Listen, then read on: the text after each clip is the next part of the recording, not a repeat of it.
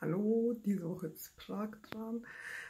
Äh, ich hatte ja gesagt, dass, ich halt, dass wir zuerst nach Bremen und dann nach Prag gegangen sind. Also da waren wir dann auch zwei Tage. Wir hatten leider nicht so viel Glück mit dem Wetter, aber wir haben trotzdem das Beste daraus gemacht.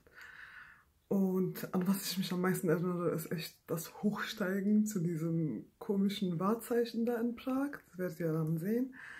Äh, aber insgesamt war Prag doch war schön auf jeden Fall voll die Touri-Stadt und natürlich habe ich auch meinen Magneten von daher bekommen.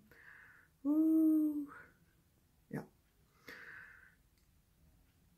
Und ich hoffe, unser, wie soll ich das beschreiben? unser Aufstieg zum Berg oder was auch immer da war für euch lustig, weil für uns war es eigentlich nicht lustig, war